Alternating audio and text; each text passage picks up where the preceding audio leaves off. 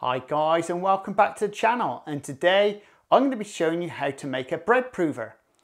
Very simple, very easy. Please subscribe and please share. Anyway, we get right on with the video.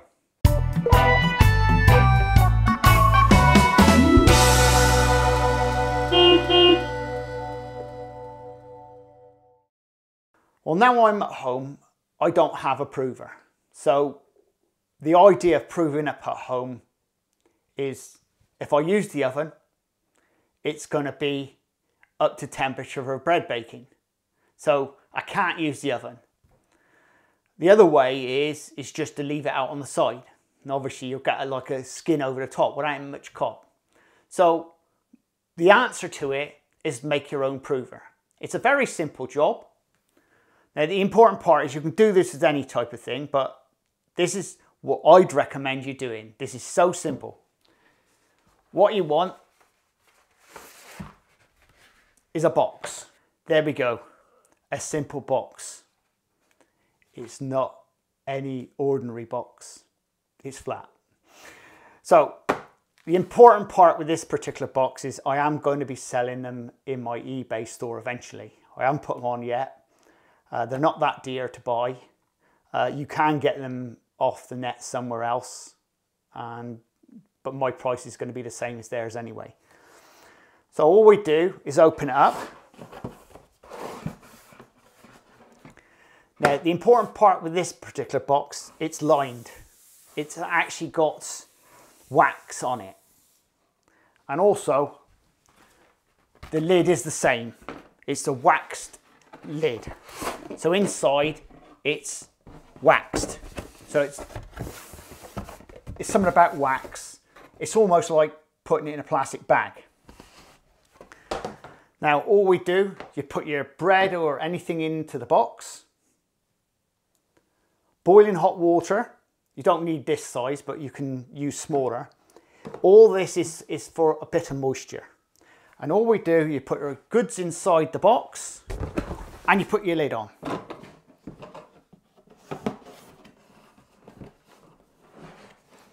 Now it is adjustable. yes, it's a lid that goes up and down. So if you've got high tins, you have actually got, you can actually, once you've your items in there, you can actually staple the box up properly. But once it's in there, you can actually adjust the height. So you've got it down low or up high. It's very easy to do. Someone said to me before, how did you come up with this idea? Well, it's like a lot of things. Now, if you're a cheapskate, you can actually make two proving boxes.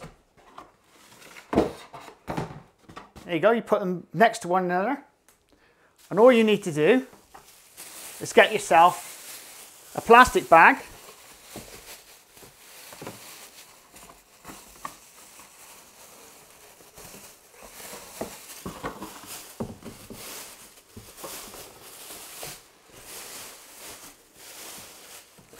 Obviously you'll have tins inside this, so this is a light box at the moment. So when you've got weight in it, you can just put it over the top.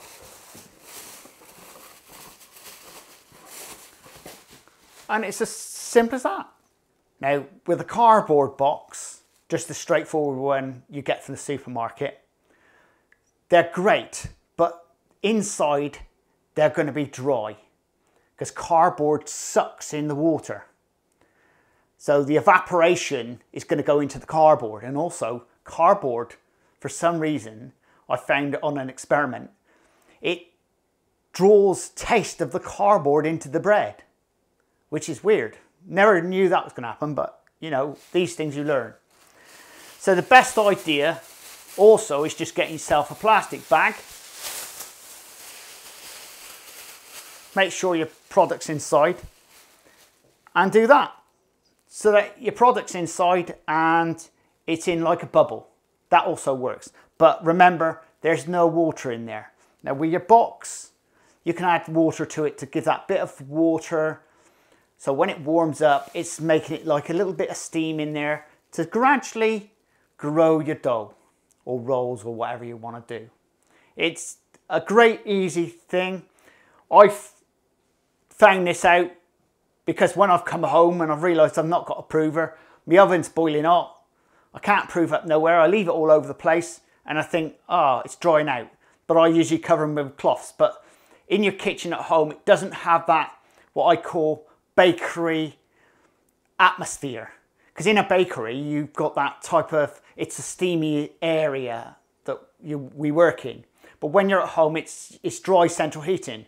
So you're not getting that sort of like dampness and the warmth to make the product grow as nice. You know, so these are things you've got to remember at home. And from a professional point of view, the box is great. And not just that, you can use it for other things as well. You know, so I will mention to you, but if you buy flour from me, from my eBay store, I deliver my flour in this. If anybody's had this before, you'll recognize the bag.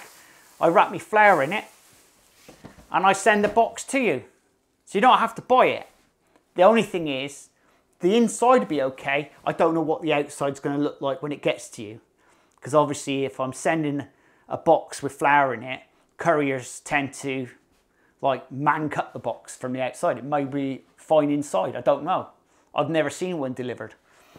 But when it gets, when I get to putting this on my eBay store, um, they'll be packed flat, obviously, and wrapped. But I don't know what the cost is going to be yet because I haven't done that. Well, guys, hope you enjoyed that video. Please subscribe and please share. And don't forget to check out the description below as there may be something down there that interests you. And we'll see you again very shortly on the Crazy Baker channel. Laters! This is the Crazy Baker channel. Baking. Lifestyle. Recipes.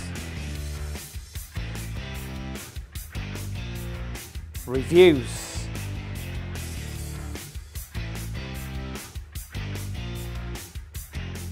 I am the Crazy Baker. Please subscribe and please share. Laters!